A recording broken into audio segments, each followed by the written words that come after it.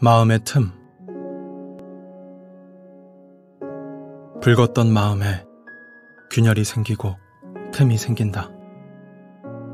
깊은 곳에 고여있던 아픔, 슬픔, 그리고 고통이란 파란 우울. 쉴 틈 없이 흘러나와 몸을 에워싸고 점점 무거워져 빛도 소리도 들어오지 않는 깊은 바닷속으로 침잠한다. 먹먹하고 칠흑 같은 바다에 오래전에 가라앉은 선박같이 한참을 머무르다 천천히 바닥에 발을 딛고 천근만근 몸을 일으켜 올라갔다.